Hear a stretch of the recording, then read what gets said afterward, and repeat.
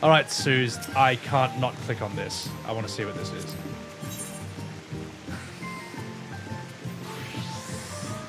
Oh, oh God. I've been playing this game too long.